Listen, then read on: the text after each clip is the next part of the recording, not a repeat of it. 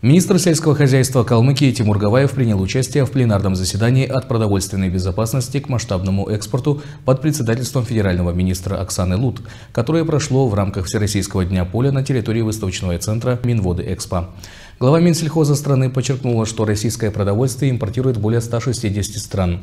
Кроме того, Россия занимает первое место в мире по экспорту пшеницы. Наряду с этим, с учетом роста калмыцкого сельхозпроизводства, активно развивается экспортный потенциал республики. Всего за последние два года объем экспорта продукции АПК региона увеличился на 188%.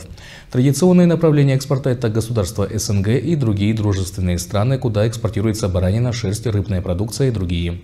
В условиях высокой самообеспеченности продукции АПК Калмыкии в дальнейшем планируем также наращивать производство, ориентируясь на увеличение объемов экспорта.